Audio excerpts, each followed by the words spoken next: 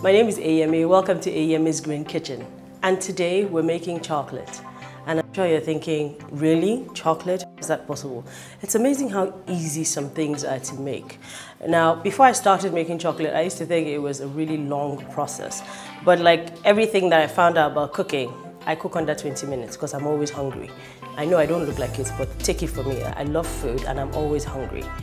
Like everything that I found out with food, it takes, what I do is minimal. What the fridge does is optimal. So, I mean, I, I, just have to mix the ingredients together. And there's so much that is available locally. It's amazing the, the things that we have, the resources that we have, the food crops that we have. It's absolutely amazing. For instance, what I'm going to use today, the raw cocoa powder I got from Ibadan. I mean, I didn't know that that was available locally. I guess I should have known.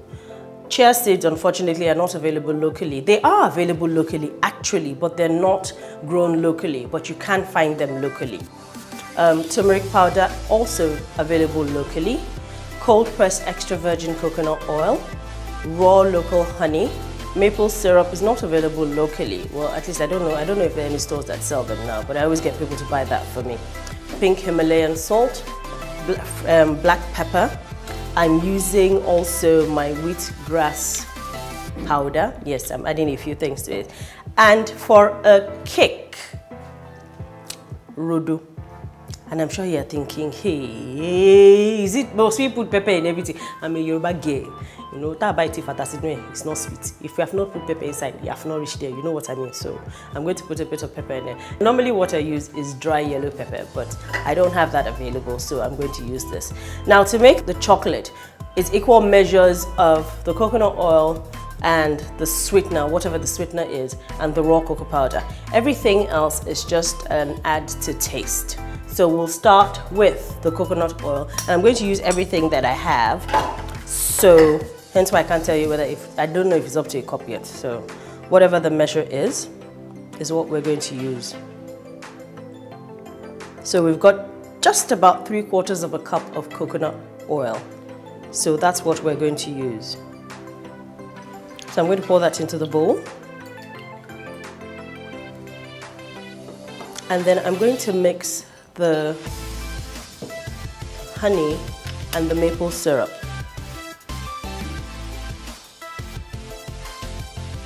So remember we're going to three quarters. So I will stop that about a third. And that's that. And I can see the measurements from where I am because the cup is graduated. So I can see the measures. If you only want to put um, maple syrup, you can do that. Or if you want to put just honey, you can do that. This is just by choice. So I'm going to pour that in.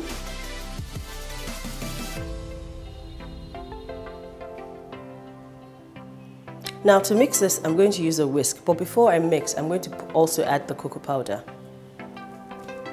so that I can mix all at once.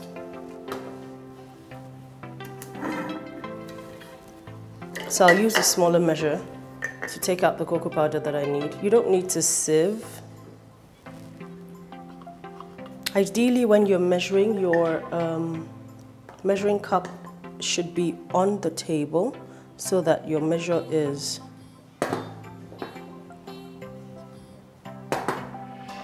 yeah that's about it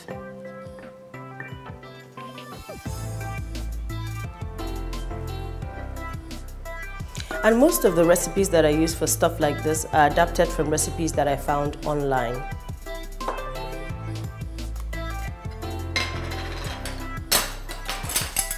I'm going to add a tablespoon of wheatgrass powder.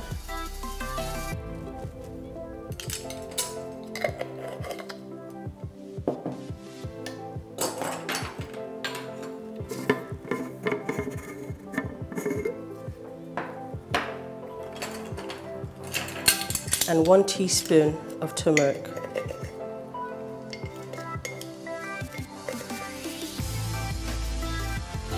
So those are level teaspoons and tablespoons.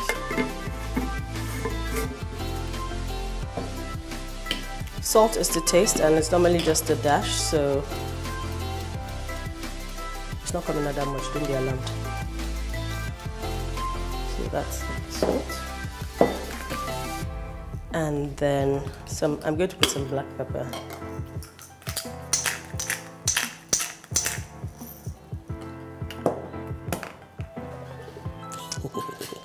and then throw in my raw pepper. So we mix all the ingredients together with a whisk. That helps to incorporate everything or emulsify. If you can see, it's already thickening up.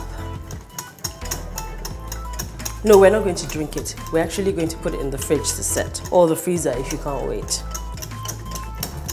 So that's what a whisk does. I haven't tried it with a wooden spoon. I guess you could try it, but um, I've used, I've always used a whisk because of the dry and wet ingredients. Now, you know that I always say that normally I don't taste my food. This ones I always taste. I put my finger in it and I taste it. It's chocolate. So today, because I forgot my baking tray with my parchment paper, I'm going to use a plate. I've also done this at home and it works. So I'm going to pour it into a plate and I'm going to put it in the fridge to set.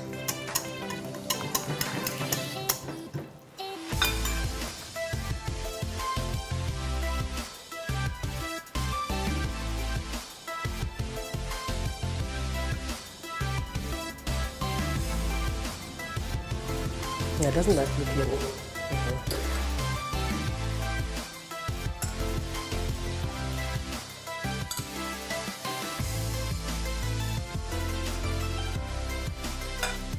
And then I'm going to decorate with chia seeds.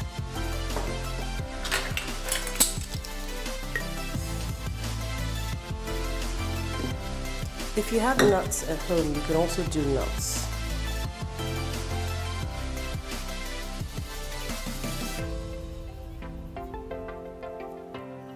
Also, depending on how deep the container is that you're using. So if I was using a baking tray, for instance, um, it would be deeper. So I'd be able to toast my nuts and then just push them into the chocolate.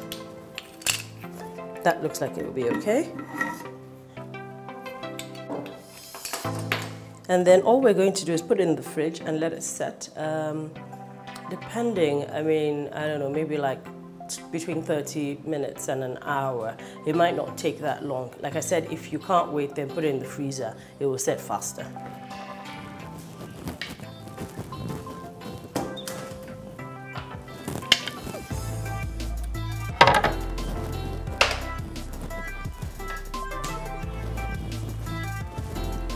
So I'm going to clean up and while I'm waiting for the chocolate to set. So don't go away, we'll be right back.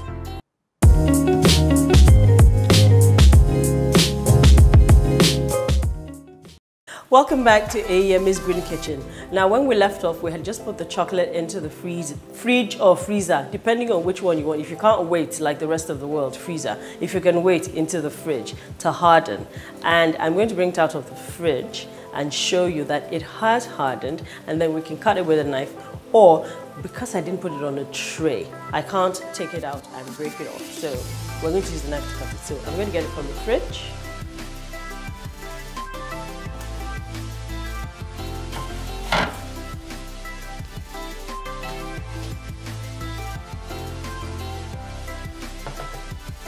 Now the green that you see around the edges is from the wheatgrass powder. So, um, I can't wait. See? And because it's not commercial chocolate, it's not going to stay hard. It starts to melt slightly.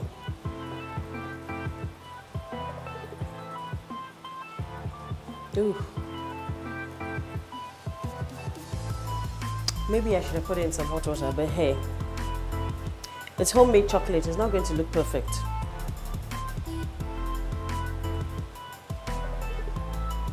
And then it starts to crumble. Yes, so.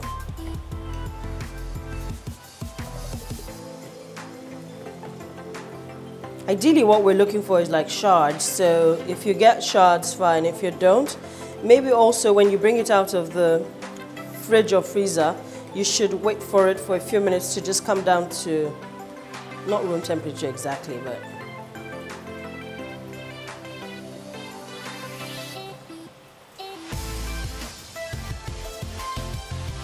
And then this is not this is a bit thicker than what I would normally use because I forgot my baking tray at home.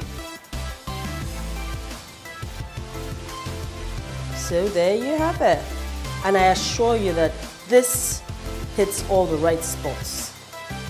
Spot on.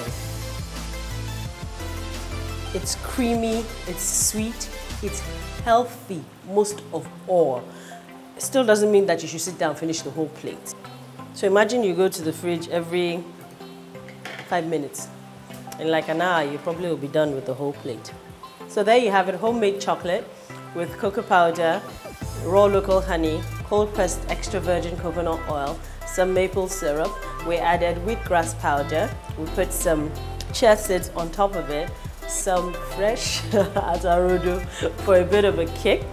And what else did we put? Salt and a bit of black pepper. So, if you're bold, try it out. My name is Eyiyemi. You've been watching Eyiyemi's Green Kitchen. See you soon.